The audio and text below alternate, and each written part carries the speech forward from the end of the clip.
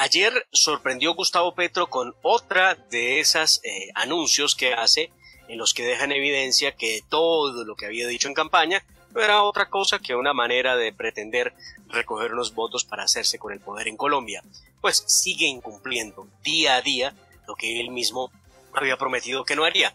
Recuerdo perfectamente, y yo no sé, a ver si ustedes lo tienen en el radar, por allá en el mes de abril de este año, Gustavo Petro terminó en eh, una notaría, en la notaría 17 de Bogotá, que está ubicada en la localidad de San Cristóbal, donde firmó lo que llamó el compromiso o un compromiso con Francia Márquez, y donde dijo lo siguiente, no expropiaré las riquezas y bienes de sus propietarios, no expropiaré, no voy a expropiar nada ni a nadie, fue lo que dijo Gustavo Petro.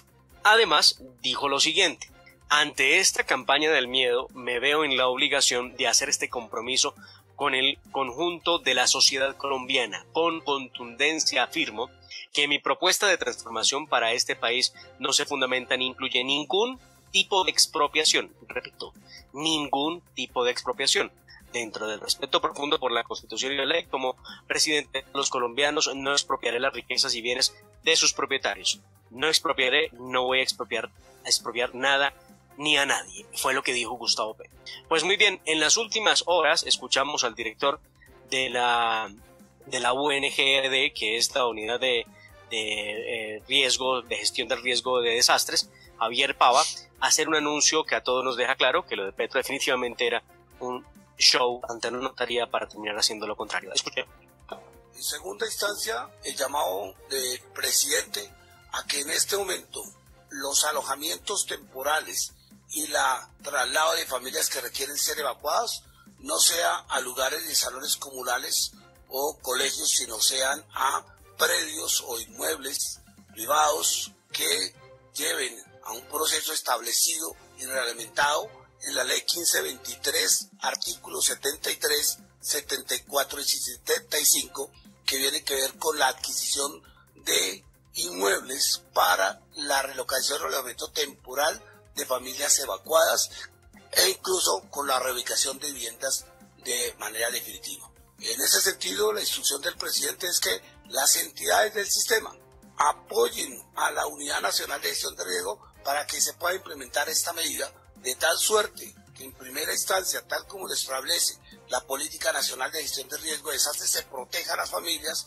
en predios o inmuebles que se encuentren aledaños a la zona y que sean seguros y garanticemos de manera inmediata y no en una fase posterior, sino en la manera directa. Hoy en la respuesta pues la solución que encontró el gobierno Petro para poder mitigar los efectos de la ola invernal y la situación de desplazamiento y de dificultades que viven algunos colombianos por cuenta del invierno ha sido aplicar la ley 1523 del año 2012 en cuanto a que se, se posibilita eh, la expropiación de predios privados para reubicar a personas de manera temporal. Es lo que dice el gobierno Petro. ¿Qué garantiza que sea temporal?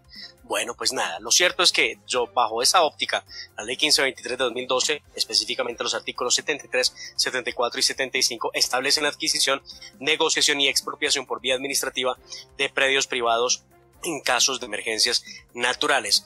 De acuerdo con el señor Pava, eh, dichos artículos no han sido usados hasta el momento en Colombia, pero teniendo en cuenta la situación actual que ha generado la segunda temporada de lluvias, se hace necesario desde enero y hasta el 8 de noviembre de este año las lluvias han dejado 765 municipios afectados, 204 muertos, 281 heridos y 37 personas desaparecidas. Eh, la unidad reporta que 5.840 viviendas han sido destruidas y 147.562 familias han sido eh, afectadas por esta situación de la ola invernal. Lo cierto es que ¿para qué firmar ante notaría y prometerle al país que no utilizaría mecanismos de expropiación cuando lo que está haciendo es todo lo contrario? Expropiar los bienes de los particulares para atender una emergencia. Bueno, es lo que Gustavo Petro está diciendo ahora a través. Lo que quiero decir es que deploro que el señor ministro de la Defensa desatienda una invitación del Congreso de la República, no una invitación, una citación, y que por lo tanto el senador Chacón no haya pospuesto el debate hasta tanto el ministro no se haga presente. Porque lo primero que hay que decir es que aquí estamos hablando de un tema que es prioritario. El senador de Barreras está preocupado por los muertos que generan los accidentes de tránsito y por supuesto que hay que estarlo, pero ¿por qué no estar preocupados por los colombianos que asesinan los violentos? Por los miles de niños reclutados por los violentos, con la cantidad de jóvenes violadas por los violentos, por la eh, persecución que estamos viendo en las ciudades. Mire, y yo quiero decir algo muy simple, este gobierno está ofreciéndole todo tipo de beneficios a los criminales, zanahorias gigantescas para convencerlos de un diálogo, pero se está quedando sin garrote. Le van a incumplir los acuerdos, no van a querer negociar y no va a tener tampoco cómo poder reaccionar. El debilitamiento de las Fuerzas Armadas no solamente se evidencia por la reducción de su presupuesto en más de 800 mil millones de pesos, sino y sobre todo por lo que está pasando en los aeropuertos. Ahora nos dicen que los aeropuertos que limitan con Venezuela, los que están cercanos a esa frontera oriental, les quitaron la policía, senadores. Entonces ya no hay policías y uno se pregunta, ¿para qué? ¿Y por qué el gobierno Petro tiene este afán de que el, que el ejército colombiano restablezca relaciones con el ejército violador de derechos humanos y sirviente de una dictadura como el de Maduro?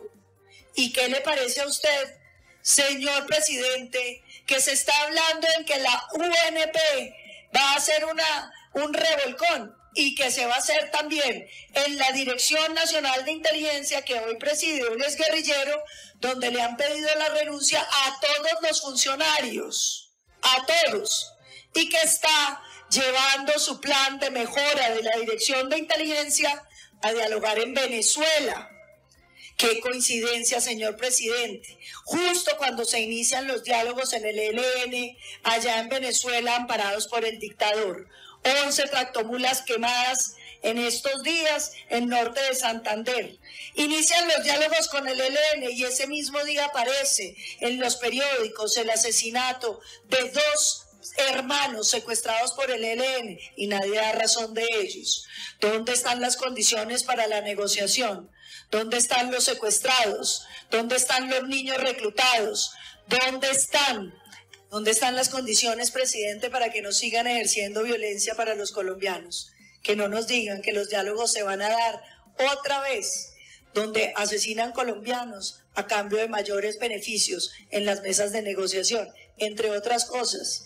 ¿Cuántos congresistas va a seguir nombrando la izquierda sin que tengan los votos para hacerla, para desmejorar las condiciones democráticas?